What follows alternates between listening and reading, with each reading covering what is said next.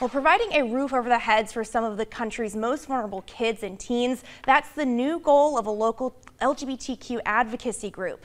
Now, the team at the LGBTQ Young Adult Shelter of Coastal Georgia hopes to have a fully operating 15-bed shelter by June, next Pride Month. Now, Lindsay Stinger joins us live now in studio. Now, Lindsay, you spoke to the organization's director. What did they have to say today? Yes, Haley, they said that this is going to be the second homeless shelter tailored specifically to the LGBT community in the state, first being in Atlanta. And the president, Eli Irving, has a heart for helping the homeless and saw that there was a need for one here.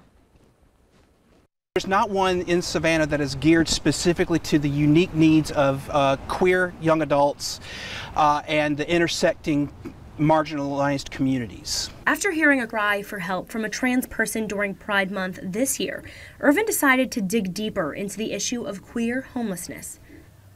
Queer youth are 120 times more likely to become homeless uh, because of different reasons, uh, whether that because they are whether that be because they are disowned and put out by their families after they come out, or if they are harmed in community or job situations or what have you. Tate Bozeman is a trans man who has seen and felt the threat his community faces when on the street. And they would just throw stuff like that in my face and threaten me, saying if they ever saw me alone, the things that they would do.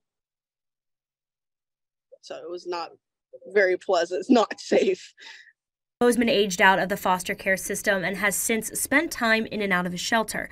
As a trans person, he recalls watching his friends be targeted just for being different. Um, I did have some friends who were in the community that did have physical. They ended up being hospitalized and stuff like that.